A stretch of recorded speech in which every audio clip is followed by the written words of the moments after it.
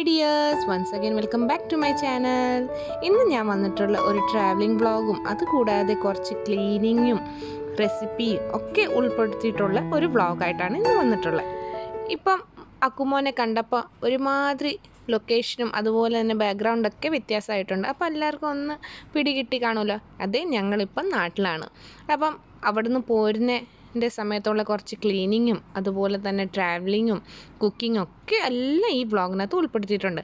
അപ്പോൾ ആദ്യമേ നമുക്ക് ഒരു ചെമ്മീൻ റോസ്റ്റിന്റെ റെസിപ്പി കാണാം. ചെമ്മീൻ റോസ്റ്റ് ഉണ്ടാക്കാൻ വേണ്ടി ഞാനിവിടെ അര കിലോനോട് കൂടുതൽ ചെമ്മീൻ ക്ലീൻ ആക്കി വെച്ചിട്ടുണ്ട്. ഇതൊരു മീഡിയം സൈസിന്റെ ചെമ്മീനാണ്.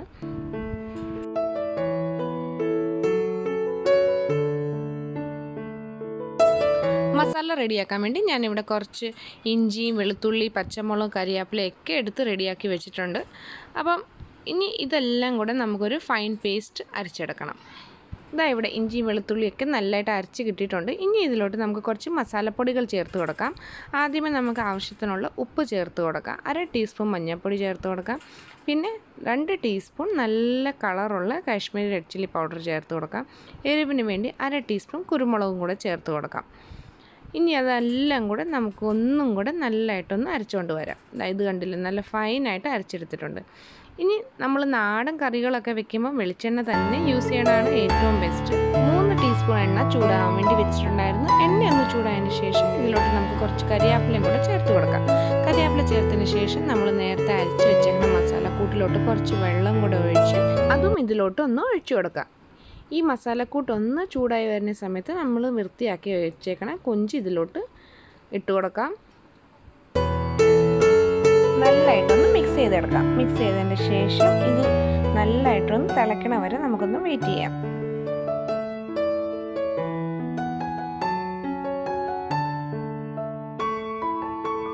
ഇപ്പം നമ്മുടെ കൊഞ്ചിൽ നല്ല തിള വന്നിട്ടുണ്ട്. ഇനി ഇതൊന്ന് മൂടി വെച്ച് ഒരു ഏഴ് തൊട്ട് എട്ട് മിനിറ്റ് വരെ ലോ ടു മീഡിയം ഫ്ലെയിമിലിട്ട് നല്ലതായിട്ടൊന്ന് ഡ്രൈ ആക്കി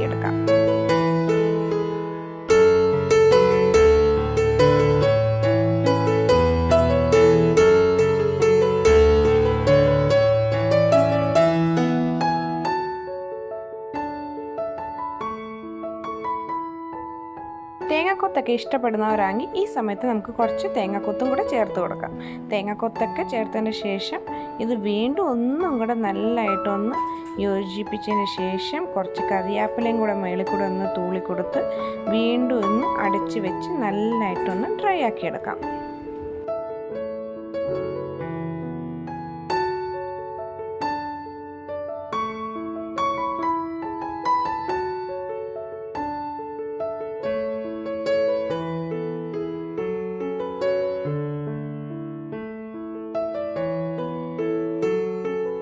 ഇതാ ഇവിടെ നമ്മുടെ കൊഞ്ച് റോസ്റ്റ് റെഡി ആയിട്ടുണ്ട്. അപ്പോൾ ചൂട് ചൂട് ചോറിന്റെ കൂടെ ഈ ഒരു കൊഞ്ച് റോസ്റ്റ് മാത്രം മതി നമുക്ക് ചോറുണ്ണാൻ വേണ്ടി. അപ്പം ഇന്നത്തെ ഞങ്ങളുടെ ലഞ്ച് റെസിപ്പി എന്ന് പറഞ്ഞാൽ ചൂട് ചോറും കൊഞ്ച് റോസ്റ്റ് മാത്രമായിരുന്നു. അപ്പോൾ ഞാൻ നേരത്തെ പറഞ്ഞ പോലെ ട്രാവലിംഗ് ബ്ലോഗാണ് നമ്മൾ നാട്ടിൽ പോവുകയാണ്. അപ്പോൾ നാട്ടിൽ പോകുന്നതിന് മുമ്പായിട്ട് നമുക്ക് കുറച്ച് ക്ലീനിങ്ങും കാര്യങ്ങളൊക്കെ ഉണ്ട്. അപ്പോൾ അതിനുവേണ്ടി ഞാൻ കുറച്ച് ടൈം മാത്രം ഇന്ന് കിച്ചണിൽ സ്പെൻഡ് ചെയ്യത്തുള്ളൂ. അപ്പം ഇവിടെ പിള്ളേർക്കായാലും ഹസ്ബൻഡിനായാലും ഒരു കാറി മാത്രം മതി ചോറുണ്ണാൻ വേണ്ടി. അപ്പോൾ നമ്മൾ എല്ലാം കൂടെ മാനേജ് ചെയ്ത് പോകണ്ടേ അപ്പോൾ ഇന്ന് മെയിനായിട്ട് എനിക്കുള്ളത് ഫ്രിഡ്ജിന്റെ ക്ലീനിങ് ആണ്. ഫ്രിഡ്ജ് നല്ല ഡീപ്പ് ക്ലീനിങ് തന്നെ ഉണ്ട്. ലോങ് ട്രാവലിംഗ് ഒക്കെ ചെയ്യുന്ന സമയത്ത് ഞാൻ ഫ്രിഡ്ജ് നല്ലതായിട്ടൊന്ന് ക്ലീൻ ചെയ്ത് പിന്നെ അതിന്റെ അകത്തുള്ള വെള്ളമൊക്കെ ഒന്ന് നല്ലതായിട്ട് ഡ്രൈ ആയതിന് ശേഷം മാത്രം ഓഫ് ചെയ്തിട്ട് പോകാറുള്ളൂ അല്ലെങ്കിൽ നമ്മൾ തിരിച്ച് വരുമ്പോൾ അതിന്റെ അകത്തൊരു സ്മെല്ലും അതുപോലെ തന്നെ കറുത്ത് ഇങ്ങനെ വല്ലാതെ ആയി കിടക്കും. നമ്മൾ എത്രയും ദിവസം ഫ്രിഡ്ജ് ഒന്നും ഓപ്പൺ ചെയ്യാതെ കിടക്കുമ്പോഴേ ഇവിടെ അക്കുമൻ ഓൾറെഡി ഫ്രിഡ്ജിലെടുത്ത് വന്ന് നിൽക്കാൻ തുടങ്ങി.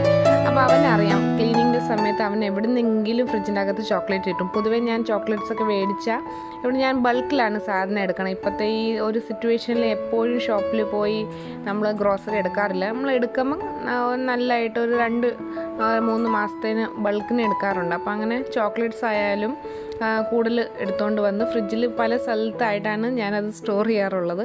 അപ്പം അവനറിയാം. ഇവിടെ നിന്നെങ്കിലും അവന് ചോക്ലേറ്റ് കിട്ടും. ഒരുമിച്ച് അവൻ കണ്ട പിന്നെ അത് തീരുന്ന വരെ അവൻ ആ ഫ്രിഡ്ജിൽ നിന്ന് മാറത്തില്ല. അപ്പം പല പല ബോക്സിലാക്കിയിട്ടും അങ്ങനെ അവനെ കാണാൻ പറ്റാത്ത രീതിയിൽ ഒളിപ്പിച്ച് വെക്കാറുണ്ട്.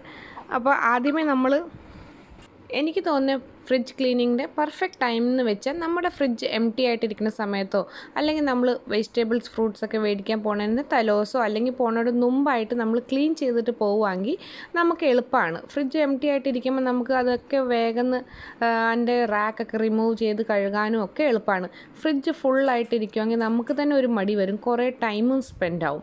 അപ്പോൾ ഞാൻ പൊതുവേ വെജിറ്റബിൾസൊക്കെ ഫ്രൈഡേ സാറ്റർഡേ വീക്കെൻഡ് ദിവസം നോക്കിയാണ് മേടിക്കാറുള്ളത് അപ്പോൾ മേടിക്കുമ്പോൾ നമ്മൾ വൺ വീക്കിനുള്ള ഫ്രൂട്ട്സും വെജിറ്റബിൾസ് ഒക്കെ മേടിക്കാറുണ്ട്. അപ്പോൾ ആ പോണത് അല്ലെങ്കിൽ സാറ്റർഡേ തേഴ്സ്ഡേ നൈറ്റോ എപ്പോഴാണ് നമ്മൾ പോണതെന്ന് വെച്ചാൽ എന്റെ ഒരു ദിവസം മുമ്പ് ഞാൻ ഫുള്ള് ക്ലീൻ ചെയ്ത് വെക്കാറുണ്ട്. പക്ഷേ ഇപ്പം നാട്ടിൽ പോണ ഒരു ആ തിരക്ക് കാരണം എനിക്ക് ഇതൊന്നും ഇപ്പം ചെയ്യാൻ പറ്റണില്ലായിരുന്നു. അപ്പോൾ എന്താ ഇപ്പോൾ രണ്ടാഴ്ച ആയിട്ടുണ്ട്. വലിയ അഴുക്കൊന്നും ഇല്ല. പിന്നെയും നമ്മൾ നാട്ടിൽ പോവല്ലേ എന്ന് വെച്ച് നല്ലതായിട്ടൊന്ന് ക്ലീൻ ചെയ്തിട്ടിട്ട് പോയാൽ നമ്മൾ തിരിച്ച് വരുമ്പം അത്രയും നമുക്ക് ഈസി ആവുമെന്ന് വെച്ചാണ് ഇപ്പം ക്ലീൻ ചെയ്യാൻ പോണത് ഫ്രിഡ്ജിന്റെ അകത്ത് ഉള്ള മഞ്ഞക്കറയും അതുപോലെ തന്നെ ഫ്രിഡ്ജിന്റെ അകത്ത് വല്ലതും സ്മെല്ലൊക്കെ ഉണ്ടെങ്കിൽ ഒന്ന് മാറി കിട്ടാൻ വേണ്ടി ഞാനിവിടെ ഒരു പേസ്റ്റ് റെഡിയാക്കി എടുക്കുന്നുണ്ട്. ഞാനിവിടെ രണ്ട് ടീസ്പൂൺ ബേക്കിംഗ് സോഡയും അതുപോലെ തന്നെ അര നാരങ്ങയുടെ നീരും കൂടെ ചേർത്ത് ഒരു പേസ്റ്റ് റെഡിയാക്കിയിട്ടുണ്ട്.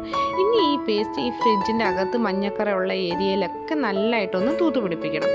ഒരു തൂത്ത് പിടിപ്പിച്ചതിന് ശേഷം ടെൻ ടു ഫിഫ്റ്റീൻ മിനിറ്റ്സ് ഇത് റെസ്റ്റ് ചെയ്യാൻ വേണ്ടി വെക്കണം. പത്ത് പതിനഞ്ച് മിനിറ്റിന് ശേഷം നമ്മൾ ഇനി ഇതൊന്ന് തുടച്ചെടുക്കാൻ പോവുകയാണ്. അതിനുവേണ്ടി ഞാനിവിടെ രണ്ട് ഡ്രോപ്പ് പ്രില്ല് ഒരു അര കപ്പ് വെള്ളത്തിലോട്ട് ഒഴിച്ചു കൊടുത്തിട്ടുണ്ട്. ഇനി ഇതിലോട്ട് ഒരു തുണി നനച്ച് മുക്കി നല്ലതായിട്ട് ഇതൊന്ന് തൂത്തെടുക്കും.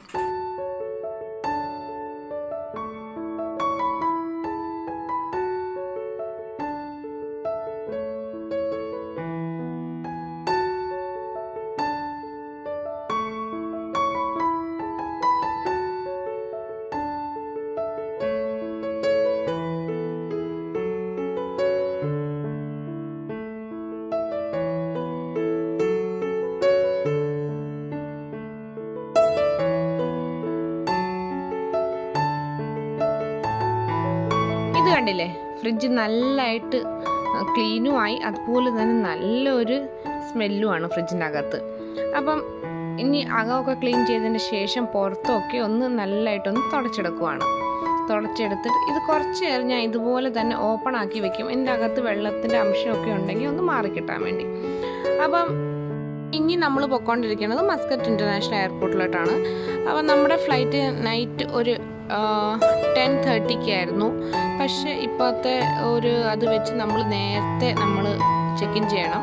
അപ്പം നമ്മുടെ വീട്ടിൽ നിന്ന് ഒരു രണ്ട് രണ്ടര മണിക്കൂറെങ്കിലും പിടിക്കുന്നു മസ്കറ്റ് എയർപോർട്ടിലോട്ട് എത്താൻ വേണ്ടി. അപ്പം ഞങ്ങൾ കുറച്ച് ലഞ്ചൊക്കെ കഴിച്ചതിന് ശേഷം ഒരു മൂന്ന് മണിയൊക്കെ ആയപ്പം വീട്ടിൽ നിന്ന് ഇറങ്ങിയിട്ടുണ്ട്. അപ്പം ദേ നമ്മളിപ്പോൾ മസ്കറ്റിൽ എത്തിയിട്ടുണ്ട് മസ്കറ്റിൽ നിന്ന് നമ്മൾ മസ്കറ്റ് ഇന്റർനാഷണൽ എയർപോർട്ടിലോട്ട് ഇങ്ങനെ പൊയ്ക്കൊണ്ടിരിക്കുവാണ്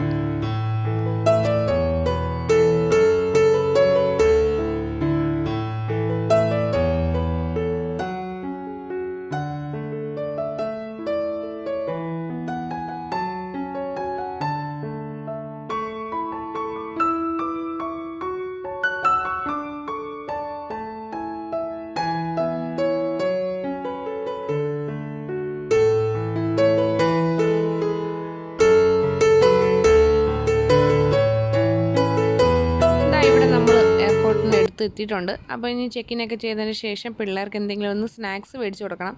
നമ്മൾ ഉച്ചയ്ക്ക് ഫുഡ് കഴിച്ചിട്ടാണ് വീട്ടിൽ നിന്ന് ഇറങ്ങിയിട്ടുള്ളത്. അപ്പോൾ കുറേ ടൈം ആയിട്ടുണ്ട്. അപ്പോൾ അത് അത് കാരണം അക്കുമോനും കുറച്ച് കരച്ചിലും ബഹളമൊക്കെ തുടങ്ങിയിട്ടുണ്ട്. അപ്പോൾ നമ്മുടെ ഫ്ലൈറ്റിന് കുറേ സമയം ഇനിയും കിടക്കുവാണ്. നമ്മൾ എയർപോർട്ടിൽ എത്തിയപ്പോൾ ഒരു ഈ ആറ് മണി ആയിട്ടുണ്ട്. അപ്പം നമ്മുടെ ഫ്ലൈറ്റ് നൈറ്റ് ഒരു ടെൻ തേർട്ടിക്കാണ് അപ്പോൾ കുറേ ടൈം ഡ്യൂറേഷനും ഉണ്ട്. അപ്പം കുറച്ച് നേരം ഞങ്ങൾ അക്കുമോനെ അങ്ങോട്ടും ഇങ്ങോട്ടൊക്കെ ഒന്ന് എയർപോർട്ടിനകത്ത് കറക്കി. പക്ഷേ ലാസ്റ്റൊക്കെ ആയപ്പോൾ അവൻ ഉറക്കം വരാൻ തുടങ്ങിയപ്പോൾ ഭയങ്കര വഴക്കും കാര്യങ്ങളൊക്കെ ആയി.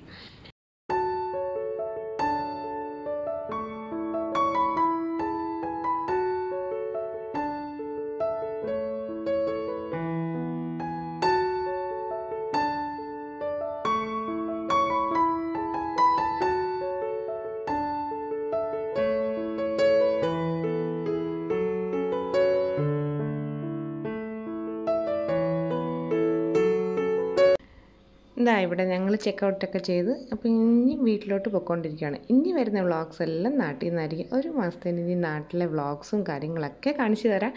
അപ്പം സ്റ്റേ ട്യൂൺ അപ്പോൾ അടുത്ത വീഡിയോ ആയിട്ട് വരുന്നവരെ till then take care and bye